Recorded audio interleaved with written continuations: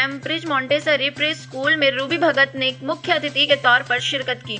Ruby भगत के द्वारा school का इनोग्रेशन रिबन काट कर किया गया।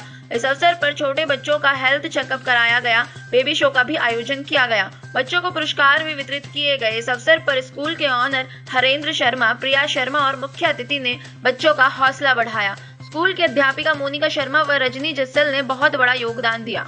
हाँ आज, हम यहाँ आए हैं Cambridge Montessori school pre school के फ़ंक्शन में। यहाँ बहुत ही बढ़िया एक बेबी शो हुआ है और बच्चों ने बहुत अच्छी तरह परफॉर्मेंस दी है।